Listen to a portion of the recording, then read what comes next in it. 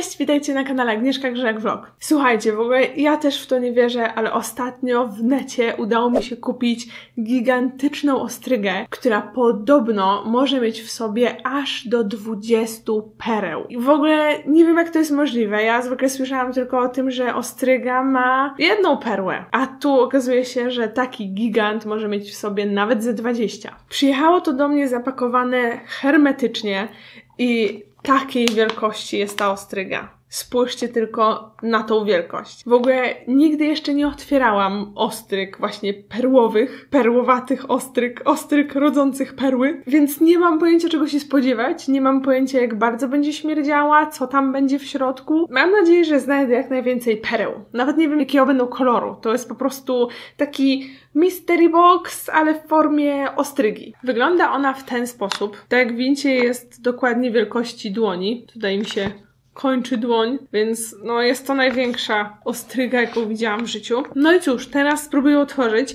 Aha, ona na pewno już jest martwa. Podłożę sobie deskę do krojenia z ręcznikiem papierowym, bo jak widzicie jest tutaj trochę płynu. Coś tutaj się przemieszcza. I nawet widzę, że tutaj jest takie sprytne otwarcie, więc uwaga.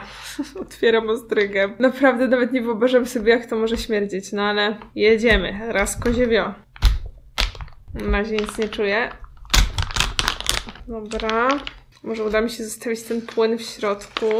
Ale tak wygląda ostryga. Została mi tylko folia. O dziwo, ona wcale nie śmierdzi. Nie wiem, jak to jest możliwe, no ale dobra, okej. Okay. To więc tak, na razie to sobie odkładam. I zabieram się w takim razie za otworzenie tej muszli. O, a tu z niej coś wylatuje. Dobrze, mam ten ręczniczek. Oh man. O nie. Może tu powinnam do tej torby wylać z powrotem. Czyli torbo jeszcze mi się przydasz. No świetnie. Już nic tu nie zostało. Wszystko się wylało wcześniej. No dobra, trudno, jeszcze ją trochę popukam.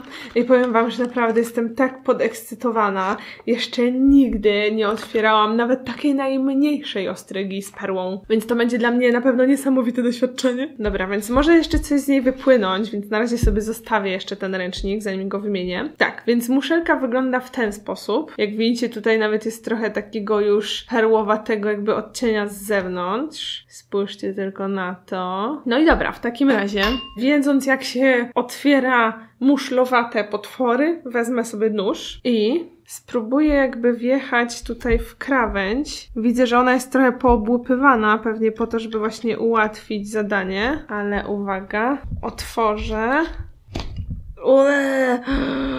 O fu! Co to jest, ale to jest obrzydliwe. O nie, boję się, co będzie w środku. Ja bym chciała, żeby były perły, a tu pewnie się okaże, że to jest jakaś masakra.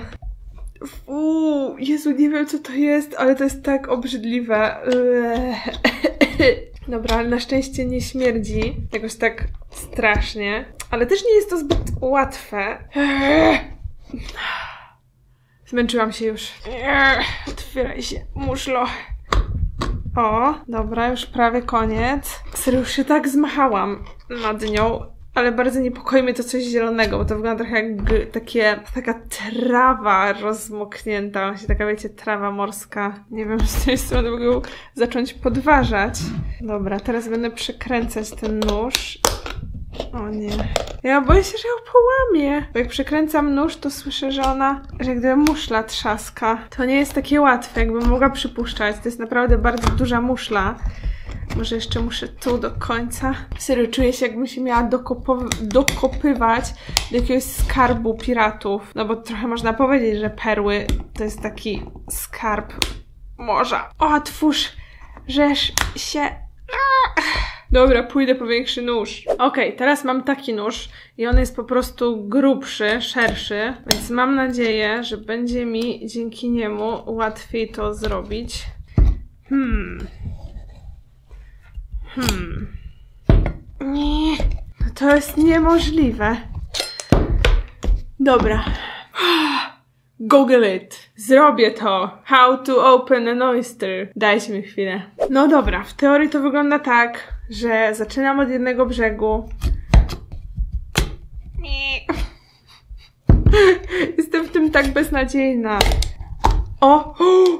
Ruszyło! To jest coś zielonego w środku, więc bardzo się zawiodę. Bardzo. jeżeli tam po prostu będzie jakieś zgniłe coś i nic więcej. W ogóle boję się mega tego otworzyć, no ale załóżmy, że jak już się tego podjęłam, to to otworzę. Ale podejrzewam, że zżygam, więc otworzę może najpierw wam. Jedziemy. Ja! What? Oh man. Dobra, nie spodziewałam się. Czyli tu był ten zielony glut, ale zobaczcie, tu już są jakieś perły. Wow. Ej, serio. O kurczę, jestem w szoku. Spójrzcie tylko na to. Wydaje mi się, że chyba założę rękawiczki, bo jeżeli mam w tym grzebać, to chyba jednak wolę się zabezpieczyć, więc wezmę sobie po prostu takie zwykłe lateksowe, kuchenne rękawiczki. No, ostrygo, czy tam małżo, szykuj się. Właśnie, muszę policzyć te wszystkie perły, bo na pewno ich jest tutaj więcej niż 10, ale ciekawe, czy uda się dojść do 20. Ja jestem w szoku, naprawdę. Spójrzcie tylko na to. Jakie to jest w ogóle wielkie i że naprawdę tam są w środku perły. Spójrzcie na to. Na razie jest to trochę obrzydliwe, ale w ogóle wiecie, sam fakt tego, że tu wszędzie są perły. I to są oczywiście naturalne perły, a nie sztuczne, no wiadomo. No dobra, nie wiem w ogóle od czego zacząć. O, tu w ogóle jakieś wypadły. Wow. I one, spójrzcie, że nie są takiego mega równego kształtu, że są na przykład, ta jest taka bardziej jajowata i w ogóle ma różne kolory, ta jest taka bardziej jakby różowawa, więc zaraz wszystkie po kolei będę wyjmować i Wam pokazywać z bliska. Więc może właśnie zajmę się tymi. Pierwsza perła, którą mam jest y, zupełnie biała. Przygotowałam sobie tutaj taką małą miseczkę z wodą i będę tutaj po prostu wrzucać te perły, żeby się wyczyściły. I teraz czas na kolejną. Ta jest już trochę bardziej taka pomarańczowawa, taka złotawa, można powiedzieć, nie wiem, miedziana. Czyli to już są dwie. Tutaj mamy naprawdę dużą perłę, spójrzcie Na to, wygląda jak jajko. Jest taka właśnie też pomarańczowawo-różowawa. Trzecia. Ta jest chyba najbardziej okrągła i taka najintensywniejsza w kolorze. Teraz piąta jest taka bardzo, bardzo malutka i też jajkowata trochę piąta. I dobra, i teraz zaczyna się grzebanie. No i spójrzmy, tak, tutaj, uuu, to jest jakiś ząb śmieszny, a to może ja to musiałam nożem przeciąć, jakoś to, wiecie, rozwalić. Spójrzcie, tu jest taki ząb łączący i to pewnie mi sprawiało taką trudność. No ale dobra, spójrz... wow, ile tego jest! Tu w ogóle jeszcze jakaś jedna wypadła, spójrzcie na to. Ta w ogóle wygląda jak jakiś taki grzybek. Niesamowite. Tą też wrzucam do wody. I lecimy dalej. Spójrzcie, ile tego tu jest. Kolejna perła, taka bardziej stożkowata i taka bardziej biaława. I tutaj się kryją następne. Tu są już dwa puste bąbelki. I to chyba trzeba tutaj jakoś, nie wiem, rozerwać albo coś w tym stylu. Nie, nie mam pojęcia, bo jeszcze nigdy tego nie robiłam, ale zaraz zobaczę, co to jest. Wow, ale to jest dziwne. To jest jakaś taka... Mi się wydaje, że to jest powłoka, która jest przyczepiona do y, muszli. I jak widzicie, ta muszla jest perłowa i ona właśnie tworzy te perły, bo to jest ta, ta część właśnie muszli, która jest w stanie wytworzyć więcej tej masy i po prostu jak wpadnie jakaś drobina albo zostanie zaaplikowana do muszli, to wtedy właśnie tworzy się perła. Więc one przylegały z jednej strony właśnie do muszli. Jaka piękna różowa! Spójrzcie, w ogóle jakaś śliczna różowa perła i właśnie z tej jednej strony, z której była przyklejona jakby do muszli, jest bardziej płaska, a bardziej wypukła tam, gdzie miała więcej miejsca, żeby rosnąć. Więc ją też wkładam do miseczki. Dobra, to teraz czas na następne. I ciekawe jest to, że niektóre są właśnie bardziej białe, a niektóre są bardziej różowe, ale ich takim punktem wspólnym jest to, że od dołu są bardziej płaskie. Zastanawiam się, czy wszystkie perły tak mają, czy właśnie może na przykład tymi najdroższymi są te, które są właśnie jak najbardziej okrągłe, takie wiecie, idealnie. Więc może to jest właśnie kwestia tego, że jakaś tam, nie wiem, właśnie okrągłość jest w cenie, czyli te w ogóle kosztowały pewnie 5 zł. Dobra, wrzucam do miski i kolejne perełki. Uuu, ta jest taka bardziej różowa. Rzeczywiście zdecydowanie, jak teraz ją wzięłam, to błyszczy się takim różowym błyskiem. Super jest. I tutaj po tej stronie jeszcze jest parę perełek. Ta jest taka bardzo delikatnie różowawa. Bardzo fajny ma odcień. I ląduje w miseczce. Nie wiem ile będzie tych pereł, ale chyba więcej niż 20. Dobra, tu je wysypię też. Kolejne perły. I tu chyba wszystkie są prawie tego samego koloru. Spójrzcie, wyglądają w ten sposób. Są właśnie takie pomarańczowo, pomarańczowo-różowe, różnych wielkości. Wyglądają trochę bardziej jak kamyczki niż jak perły, ale mają ten piękny pobłysk. I chyba potem je przeliczę, bo już straciłam rachubę. E, I wydaje mi się, że jeżeli chodzi o tą stronę, to chyba tu jest wszystko. Wow, w ogóle tutaj zobaczcie też, jakie mocne powiązanie było. Czyli te muszle mają powiązania tutaj, to trzeba po prostu przeciąć. Dobra, czyli ta strona jest już gotowa. Wow. I trzeba się zabrać za tą stronę. Uuu, ale tu coś jest. Uuu, chodź tu.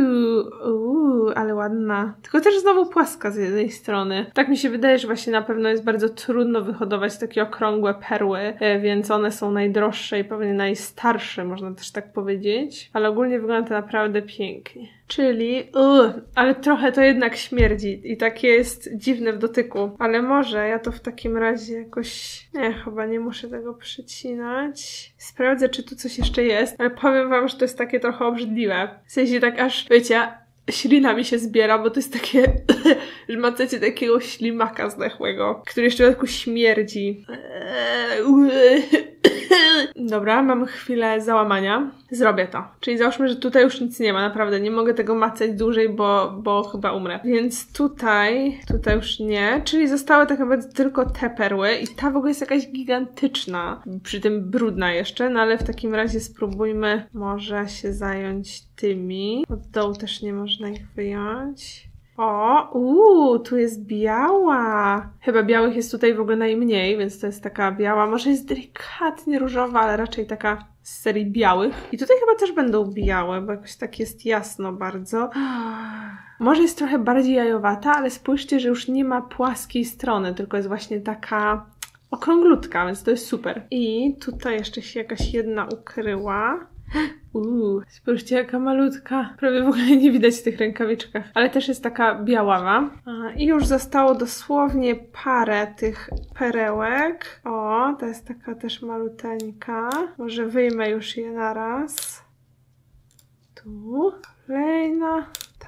I tą największą może zostawię na koniec. One są takie naprawdę malutkie i są w kolorze tutaj trochę bardziej białe, a te są bardziej kremowe. Ta byłaby taka prawie perfekcyjnie okrągła, gdyby nie spłaszczony brzeg jeden. I słuchajcie, chyba została ostatnia, najbrudniejsza, ale chyba i, no może nie największa ze wszystkich, ale największa na pewno z tej strony, więc spróbujmy ją jakoś tu wyłuskać. Wow, jaka ładna. Chyba będę musiała odmoczyć po prostu, bo z tej strony jest brudna. Wygląda jak taki guziczek, bo jest bardziej płaska, ale jest pięknie taka okrąglutka. Włożę ją do wody, żeby się wypłukała, bo jest najbrudniejsza. A może ją na przykład nożykiem jeszcze przetrę? A, bo w ogóle ona chyba, o nie! Nie wiem, czy będziecie w stanie to zobaczyć, ale ten brud niestety w ogóle wszedł pod warstwę tej perły, więc on tak jakby już tam był bardzo długo. Niestety. To była taka ładna perła. Włożę ją do wody tak czy siak, żeby się oczyściła. I upewnię się, czy na pewno już nic tutaj nie ma. W ogóle spójrzcie, jaki tu pęcherzyk się zrobił. Jak to wygląda właśnie, że tutaj była perła. O! Tu coś jeszcze jest! Wow, ale tego chyba się nie da wyjąć. Spójrzcie, to jest to jakby się wytworzyła tu perła, ale przyczepiła się do podłoża. Wow. Może uda mi się to odhaczyć nożem. Nie, chyba nie. Ale śmiesznie. Nie wiem, nie wiem czemu tak jest i jak często się tak dzieje, że perła jednak się nie odrywa od podłoża, ale niesamowite. Właśnie tak szukałam palcem, czy jest jeszcze coś twardego i tutaj właśnie taka mała perełka została. Ale tu już nic nie ma też. No i tu nic nie ma, więc jedyne co by właśnie mogło być to ta perła. Czyli to mogę odłożyć na bok. Teraz trochę popłuczę te perły. Właśnie ta mnie martwi, bo ona jest taka duża i taka okrągła, ale z drugiej strony może jeszcze mi się uda wydłubać. To są trochę jakby takie glony albo coś takiego, nie wiem. Wypłuczę dobrze wszystkie te perły i zaraz Wam pokażę, jak już będą takie dosłownie, dokładnie czyste. Perły już się trochę pomoczyły, ja je też trochę wypłukałam, więc teraz może wyjmę je wszystkie na talerz i przy okazji je policzę. Dajmy je, żeby wyschły.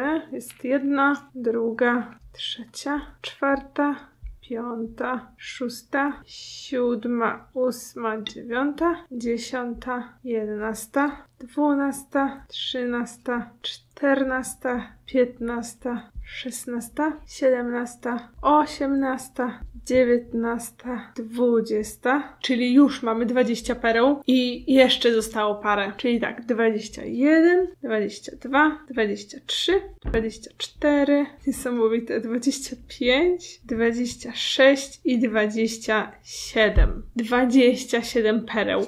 Mimo, że niektóre są super malutkie, a niektóre są o wiele większe, to tak czy siak jest to całkiem sporo. Teraz posegreguję je kolorystycznie i zaraz do Was wracam. Mam nadzieję, że w miarę udało mi się to pogrupować kolorystycznie. Zaraz Wam wytłumaczę mniej więcej, co ja tutaj widzę. Czyli tak, te trzy pierwsze to jest najbardziej zbliżony do białego kolor, czyli to są perły w takim chłodnawym odcieniu bieli. Potem są trochę cieplejsze białe perły, ale jeszcze nie kremowe. Tutaj są już perły o odcieniu kremowym po prostu taki bardzo jasny kremowy. I tutaj są dwie jasno-różowe perły. One są trochę pomieszaniem tak jakby białej perły z delikatnym różem, więc to są takie bardzo delikatnie różowawe. Tutaj mam ciemniejsze kremowe, coś w stylu takiego pastelowego, łososiowego koloru można powiedzieć, czyli coś w tym stylu, ale ciemniejsze. Potem tutaj są perły ciemniejsze od tych z większą domieszką różowego, czyli tutaj mamy takie bardziej różowe niż właśnie ciemnokremowe. I tutaj dwie ostatnie, które moim zdaniem są jeszcze ciemniejsze od tych i jeszcze bardziej różowe. Czyli mamy raz, dwa, trzy, cztery, pięć, sześć, siedem grup kolorystycznych, moim zdaniem. Może ktoś jeszcze mógłby je mocniej podzielić, ale wydaje mi się, że tak jest całkiem spoko. Więc jeżeli chodzi o podsumowanie w ogóle tego, to przede wszystkim miałam super zabawę.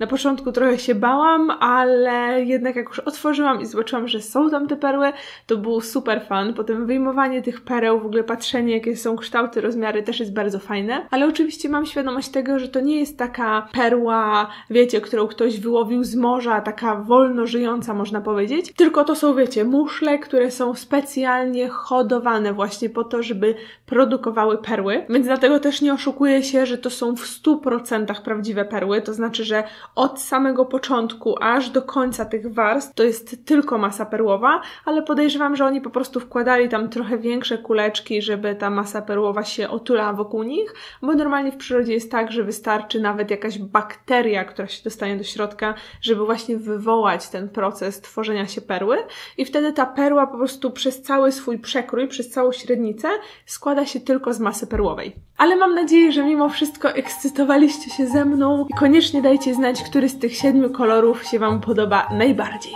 I możecie jeszcze napisać w komentarzu, jeżeli macie jakiś pomysł, co na przykład mogę dziwnego otworzyć, to bardzo chętnie się dowiem. Rzucajcie pomysły w komentarzach, a tymczasem widzimy się w kolejną środę. A jeżeli jeszcze chcecie oglądać YouTube dalej, to koniecznie kliknijcie film po lewej albo po prawej, a jeżeli jeszcze mnie nie subskrybujecie, to koniecznie to zróbcie klikając tutaj na górze. Ciekawe, co mogę zrobić z tych pereł. Jeszcze nie wiem, ale na pewno coś fajnego. Dzięki za oglądanie i pa pa!